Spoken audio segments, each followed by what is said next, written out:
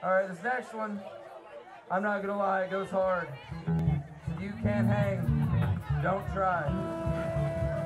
Steven's gonna start us off with some killer fucking things. Start it, man. Whoop, should have said that. Kill it, Steven.